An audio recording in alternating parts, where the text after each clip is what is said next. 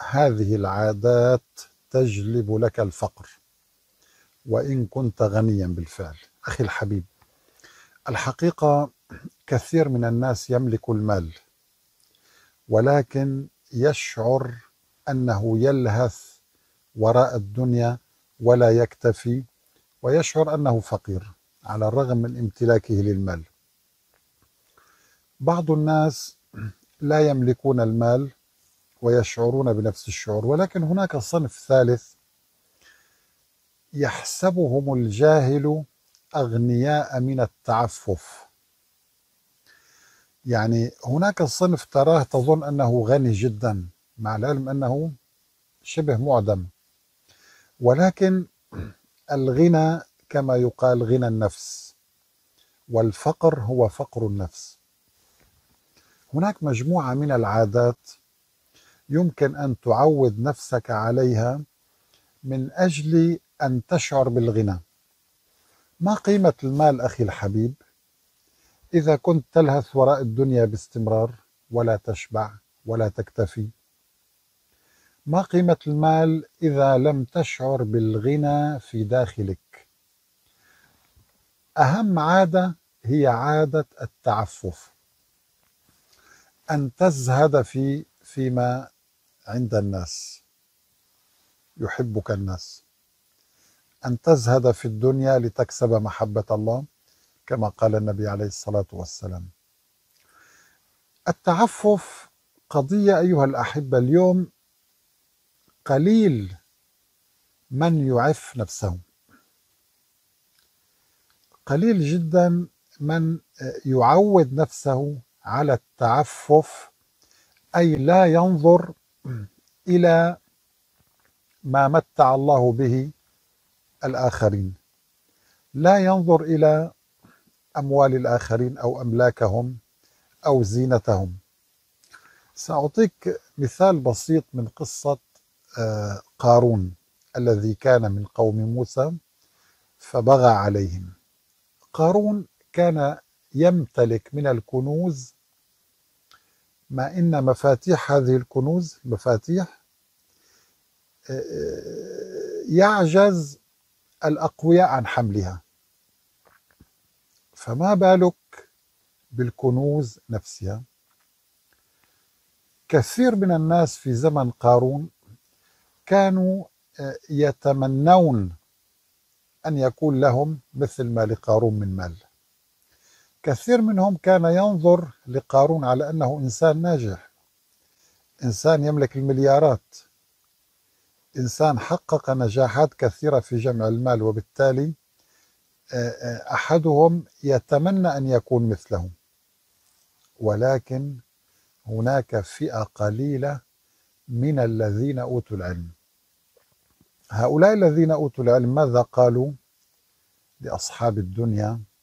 الذين يريدون الحياة الدنيا. حدث حوار هنا مهم جدا. أنا أحبك أن تتذكر هذا الحوار دائما. فخرج على قومه في زينته. قال الذين يريدون الحياة الدنيا يا ليت لنا مثل ما أوتي قارون إنه لذو حظ عظيم. إنه ذو حظ عظيم. طيب. هنا الأغلبية. وهذا بالفعل اليوم عندما نرى إنسان يملك المليارات معظم الناس يسعى ويتمنى أن يكون مثله. هذا الأمر طبيعي بالنسبة لنا. ولكن بالنسبة للذين أوتوا العلم وقال الذين أوتوا العلم ويلكم. تحذير شديد اللهجة. ويلكم ثواب الله خير لمن آمن وعمل صالحا. يعني يعني نظرتكم خاطئة للحياة. أنت كلما نظرت لأموال الآخرين وزينتهم وما متعهم الله به كلما نظرت أكثر كلما أحسست بالفقر في داخلك أكثر. فالفقير أيها الأحبة ليس هو حقيقة الذي يحتاج الطعام لا. قد تجد إنسان لا يملك شيئا. ولديه طعام بسيط جدا ولكنه في داخله يشعر أنه أغنى من الملوك وأغنى من الأغنياء. فهنا أهل العلم تعففوا. لم ينظروا إلى ممتلكات قارون وزينته. قال الذين أوتوا العلم ويلكم ثواب الله خير لمن آمن وعمل صالحا. وما يلقاها إلا الصابرون عن الجنة يعني. طبعا وهم في هذا الحوار وهذا الجدال أصحاب الدنيا يحاولوا أن يخطئوا أهل العلم القلة القليلة. فخسفنا به وبداره الأرض. ويأتي القرار الإلهي المفاجئ بخسف الأرض به وبماله. فلم تكن له من فئة ينصرونه من دون الله. وما كان من المنتصرين. وأصبح الذين تمنوا مكانه بالأمس يقولون ويك أن الله يبسط الرزق لمن يشاء ويقدر. لولا أن من الله علينا لخسف بنا وفي قراءة لخسف بنا.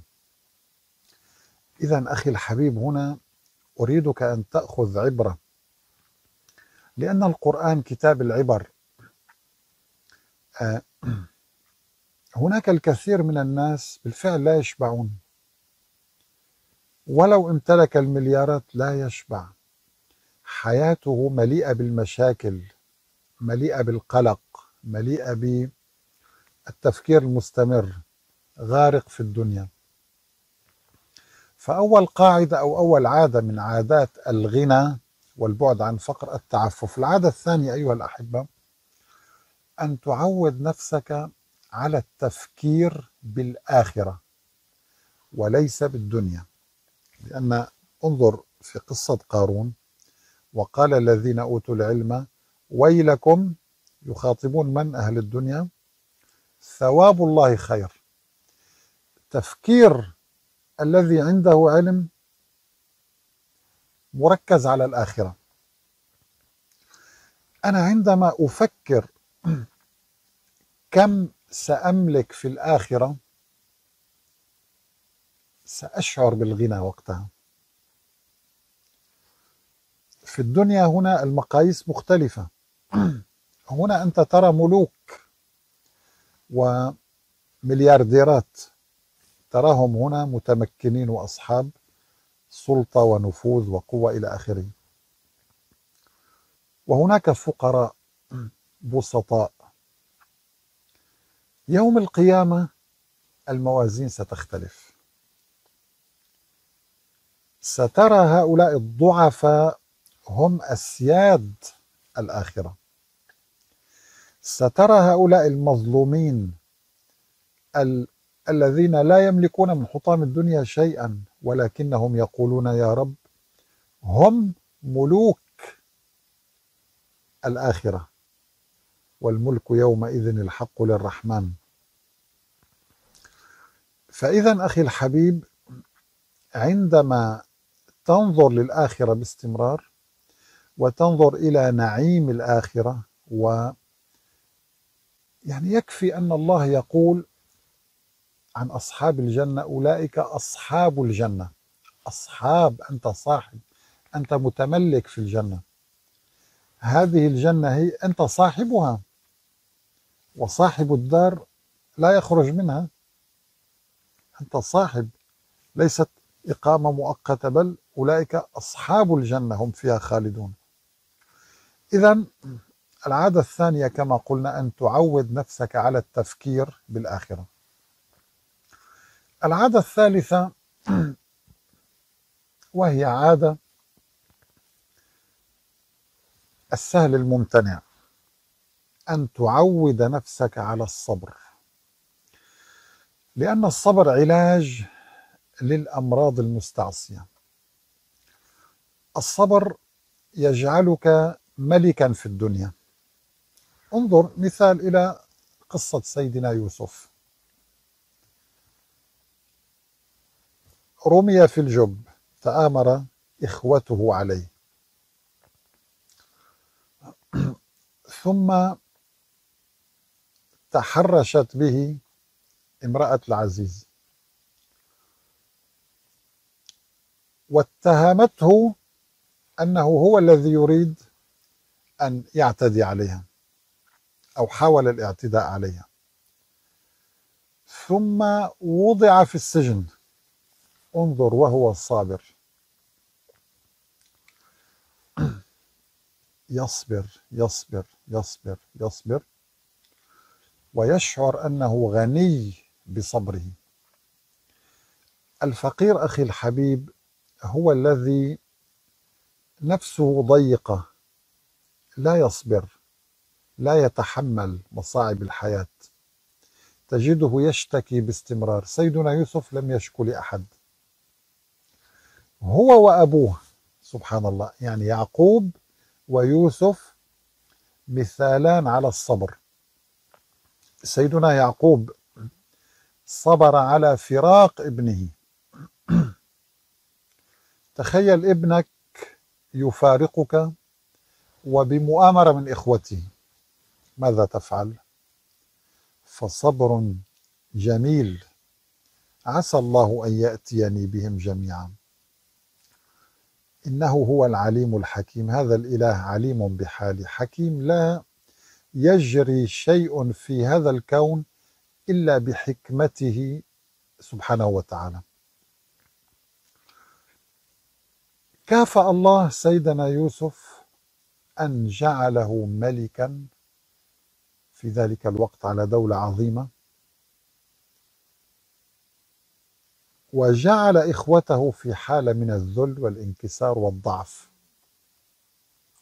فقالوا له بعد أن انتهت أحداث القصة تالله لقد آثرك الله علينا أي أن الله فضلك علينا.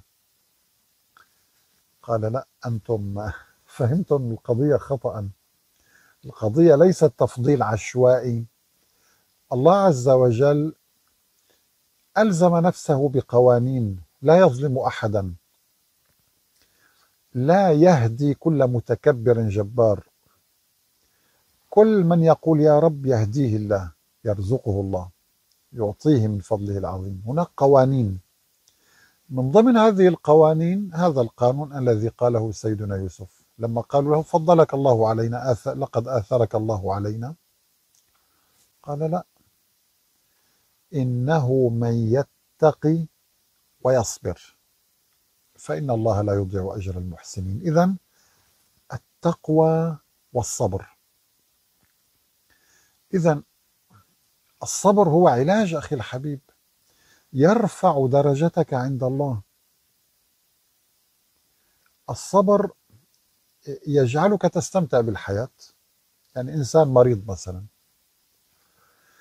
مهما بلغ من الألم ما دام يصبر ثق تماما أنه أسعد ممن لديه الصحة والقوة. صبر ابتغاء وجه الله. صبر على أمل أن يصل لمرضاة الله. أنا يا رب أتحمل هذه الظروف الصعبة التي أعلم أنها بأمرك وبإرادتك. وإن يمسسك الله بضر فلا كاشف له إلا هو.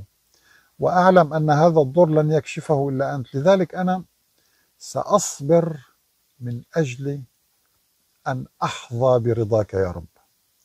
سأصبر من أجل أن ترضى عني.